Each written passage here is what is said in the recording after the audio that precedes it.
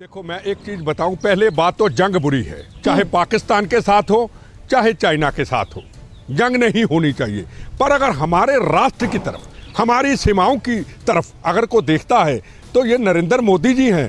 ये हमारी फोर्सेस को खुली छूट है। हम इतना भी ज़मीन का हिस्सा, हिंदुस्तान का फौज का जवान हमारा नरेंद्र मोदी जाने नहीं देगा। नमस्कार, स्वागत है आप सभी का टीवी नाइन भारतवर्ष पर। आपके साथ मैं हूँ पूर्णिमा मिश्रा। शाम के चार बज चुके हैं, यानी कि वक्त हो चला है फुल एंड फाइनल का। और इसकी शुरुआत करें, उससे पहले इस वक्त की एक बड़ी खबर जिसकी जानकारी आपको दे दें। सैयद सलाउद्दीन से जुड़ी ये बहुत बड़ी खबर है। आईएसआई ने ही हिजबुल के सरगना, यानी कि सैयद सलाउद्दीन पर हमले की साजिश रची है और ये सोर्सेस के हवाले से बड़ी जानकारी मिल रही है।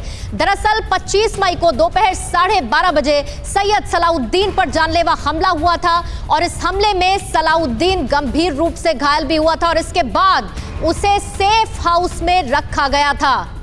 फंडिंग को लेकर आईएसआई और सलाउद्दीन के बीच में यह तनातनी चल रही थी, जिसके बाद यह जानकारी मिली है कि आईएसआई ने ही सैयद सलाउद्दीन पर हमले की साजिश को रचा था और इसी के बाद आईएसआई ने इस हमले को अंजाम दिया है। हालाँकि हमले की मंशा सलाउद्दीन को डराना था, लेकिन इस हमले में सलाउद्दीन गंभीर रूप से घायल हुआ था, जिसके बाद सैयद सलाउद्दीन को सेफ़ हाउस में रखा गया था।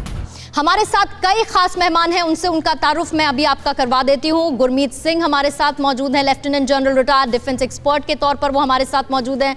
इसके साथ ही मेजर जनरल रिटायर्ड के के सिन्हा डिफेंस एक्सपर्ट के तौर पर हमारे साथ जुड़ चुके हैं। इस बड़े पैनल में साथ ही एम एस बिट्टा हमारे साथ हैं, अध्यक्ष हैं आप, ए आई ए टी एफ़ के स्कंताल और हमारे साथ स्कन तायल साहब हैं, पूर्व राजनायिक हैं, साथ ही अनिल आज़ाद हैं हमारे साथ, जो कि चीन के एक्सपर्ट के तौर पर हमसे बातचीत करेंगे। साथ ही प्रमोद स्वामी, जो कि बीजेपी के प्रवक्ता हैं, वो भी हमारे साथ जुड़ चुके हैं। एम एस बिट्टा, आप मुझे ये बताइए कि सब कुछ जानते हुए क्या किसी तरीके के डर में, क्या किसी तरीके के खौफ में चीन आ चुका है? जिस तरीके की तैयारी दिख रही है इन सैटेलाइट पिक्चर्स के ज़रिए, ये मैसेज देने की भी कोशिश चीन कर रहा है कि हम तैयार हैं। हमें आप धमकियाँ देते रहिए। चाहे मैं उसमें अमेरिका का एग्ज़ाम्पल ले लूँ या भारत जिस तरीके से चाइना को जवाब देता रहा है तो एक मैसेज देने की कोशिश चीन कर रहा है। इसीलिए ये सैटेलाइट के ज़रिए ऐसी तस्वीरें सामने आई हैं।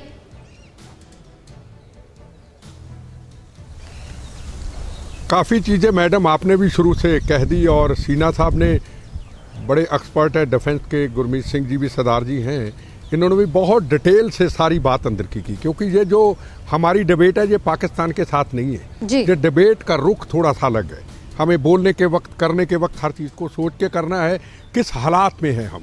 एक तरफ़ नेपाल एक तरफ़ चाइना एक तरफ़ पाकिस्तान एक तरफ़ हिंदुस्तान की महामारी एक तरफ़ हिंदुस्तान के अंदर मजदूरों की हालत। हम उलझनों में हैं इस वक्त। मैं आपको बिल्कुल सही बता दूँ ये उन्नीस का भारत नहीं है।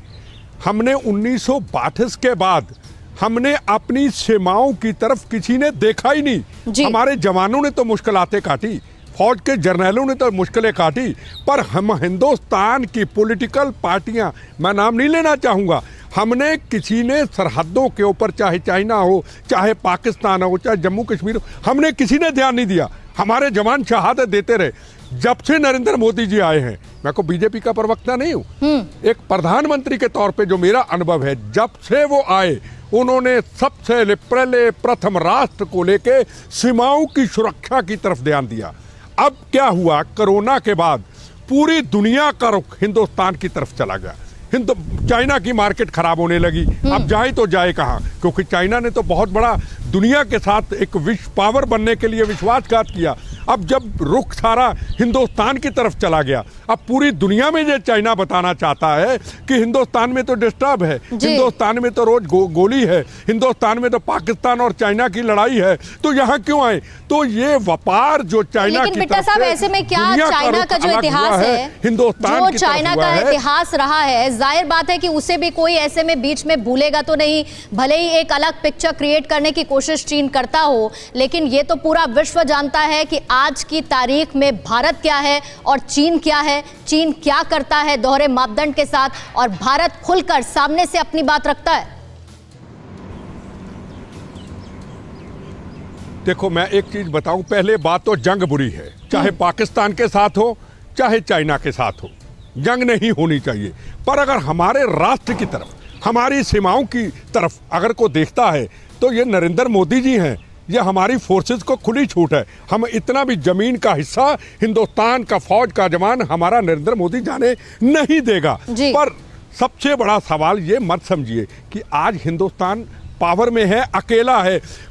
बारह बॉर्डर चौदह बॉर्डर लगते हैं दो हैं उनके हमारे खिलाफ हैं और बाकी के जो हैं वो हमारे साथ हैं। अगर कोई पहली बात तो ऐसी घटना ना हो पर अगर कोई आफत आती है तो दुनिया खड़ी है हमारे साथ हम दुनिया के साथ खड़े हैं और ये अकेली और- फौज और नहीं खड़ी है। बहुत आज अच्छी हर व्यक्ति कोरोना से मौत का कफन ये लगाए बात चीन बहुत अच्छी तरीके से जानता है कि इस वक्त पूरी दुनिया भारत के साथ खड़ी है और खास तौर से इस क्राइसिस के वक्त कोरोना वायरस को लेकर जिस तरीके से चीन घिर रहा है वो ये जानता है कि कहीं वो अकेला ना हो जाए और इसीलिए इस तरीके की शायद हरकत उसकी तरफ़ से की जा रही है। एम एस बिट्टा साहब आपका एक रिएक्शन डोनाल्ड ट्रंप जिस तरीके के स्टेटमेंट्स उनकी तरफ़ से आते रहे। ज़ाहिर बात है कि मैं डिफेंस एक्सपर्ट के पास जाऊँगी तो वो उनके पुराने स्टेटमेंट्स को भी समअप करके और बेहतर चीज़ों के बारे में बता पाएँगे। लेकिन फिर भी डोनाल्ड ट्रंप का मध्यस्थता को लेकर पेशकश करना, भारत का स्टैंड बहुत क्लियर कर क्लियर होना और साथ ही चीन का भी ये कह देना कि हमें किसी की ज़रूरत नहीं है, हम बातचीत के ज़रिए समाधान निकाल लेंगे। ये उसी बात को और पुख्ता करता है जो अभी अभी आप कह रहे थे कि युद्ध किसी भी स्थिति का इलाज नहीं है। एक बात बिल्कुल स्पष्ट कह दूँ कि चाहे वो कश्मीर का मुद्दा हो चाहे कोई और मुद्दा हो हिंदुस्तान की अब हो पहले हो रक्षा एक्सपर्ट बैठे हैं आपको बताएँगे कि कभी भी हिंदुस्तान ने नहीं चाहा है कि हमारे बीच में कोई तीसरा आए। जी। चाहे पाकिस्तान की बात हो कभी कोई नहीं आया। हाँ अमेरिका की तरफ़ से स्टेटमेंट आती रही। दूसरी जो सबसे बड़ी बात है कि पिछले पाँच साल के अंदर जो नरेंद्र मोदी जी के पूरे विदेशों के अंदर दौरे रहे हम आप लोग भी मज़ाक को कई बार उड़ा देते थे भी हमारे देश के प्रधानमंत्री तो बाहर रहते हैं दे- देश में बहुत समस्याएँ हैं पर आज हमें पता चला कि देश के प्रधानमंत्री नरेंद्र मोदी जी ने पूरी दुनिया में करके इस राष्ट्र का नाम तो ऊँचा किया हमारी डिफेंस पॉलिसी को मज़बूत किया जी। हमारी सुरक्षा व्यवस्था को मज़बूत किया। चाइना की सबसे बड़ी समस्या है वो इस चीज़ को भूल चुका है कि उन्नीस को वो याद करता है कि आज का भारत वो नहीं है और कोई भी कंप्रोमाइज चाहे कितना भी बड़ा हमारा नुकसान हो नरेंद्र मोदी जी एक इंच भी पीछे नहीं हटना चाहेंगे चाहे कोई भी बीच में आए। चल पड़े काफले इसके चल पड़े। आपने देखा नहीं 370 धारा देखी नहीं। अगर कल हादसा हो जाता तो मैं गारंटी से कहता हूँ हम आपको 10 दिन के अंदर ऑक्यूपाई कश्मीर लेते। कश्मीर का मुद्दा नहीं था। ऑक्यूपाई कश्मीर का मुद्दा नहीं था। पर क्या हुआ? क्या हुआ? हमारे जब 40 जवान शहीद किए सर्जिकल स्ट्राइक की और 370 धारा। हम जिद्दी लोग हैं आज हम पहले वाले नहीं हैं हाथ जोड़ देंगे। आज आप हाँ हिंदुस्तान का फॉरेन मिनिस्टर देखिए। कौन है हिंदुस्तान का? पॉलिटिशियन तो नहीं है।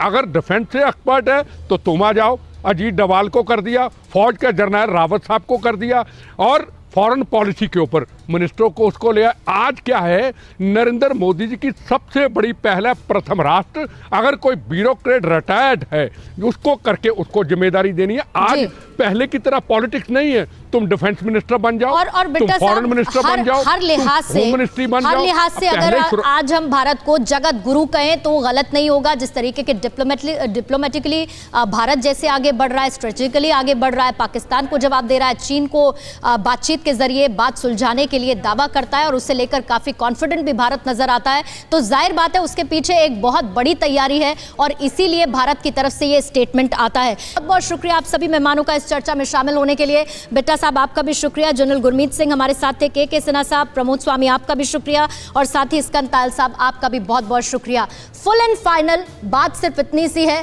कि भारत से कोई पंगा लेने की कोशिश ना करे। भारत पूरी तरह से तैयार है, विवाद चाहे कोई भी हो।